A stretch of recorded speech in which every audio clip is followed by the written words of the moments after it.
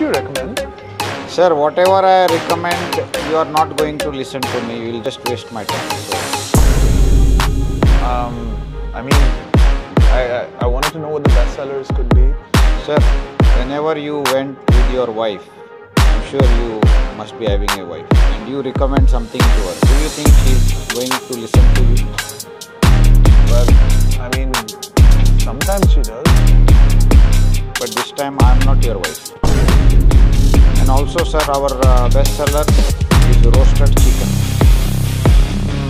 Um, not much of a roasted chicken type of person. Why you ask me, sir? I told you. Sir, because of people like you, there is global warming.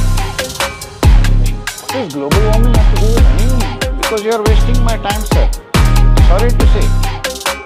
Um, I'll, I, can I get the double cheeseburger? Uh, I'll have the, the, I'll just have the cheesecake.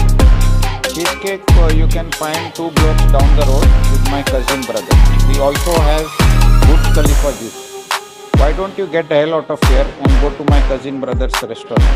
It is called Sandeep Restaurant. Have a good bad day, sir.